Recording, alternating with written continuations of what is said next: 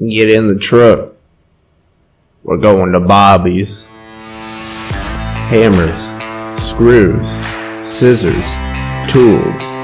The best, the strongest, with the baddest asses. Bobby's Hardware.